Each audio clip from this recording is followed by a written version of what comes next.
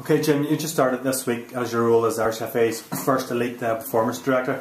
How excited are you with the post?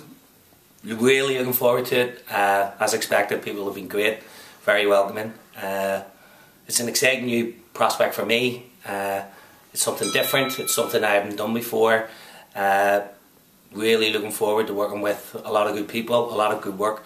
Has already, uh, has already been established at uh, grassroots and also elite development programs. But uh, obviously the IFA have come up with this initiative and they should be congratulated on that. And to be the first is uh, obviously a, a, quite an honour.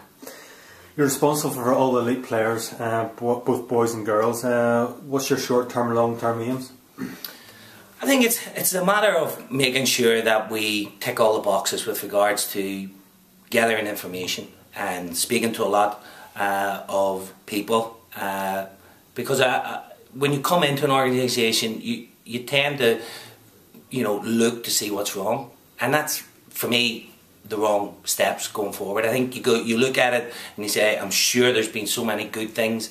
I think it's important that we recognise that, recognise the good work that people have done, and then uh, we've got to, you know, look at how we can develop young players and both girl and boys, and make sure that we do everything we can to give them uh, the right mentality.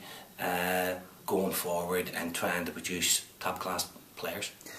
In addition to overseeing the Elite Player Development Association Coach Education Programme, uh, you're obviously working closely with national team managers um, and obviously you're aiming to build a pipeline for future Northern Ireland teams. Yeah, well, he'll want a conveyor belt of talent and I have to try and produce that. Again, you know, we do have a plan, and when that plan has been discussed and released to the general public, I'm sure they'll all agree that it is the way forward for us. In any in any sport, uh, I always felt and I still believe that uh, the more contact time you have with people and the more quality information you give uh, any player, senior player down to grassroots if you like, I think the more time you can spend with them, the more time you can uh, give them quality input, the better they'll be and you know practice and application and dedicated dedication to your job is so very important and these are sorts sort of the things that we'll be trying to get uh, across the young players.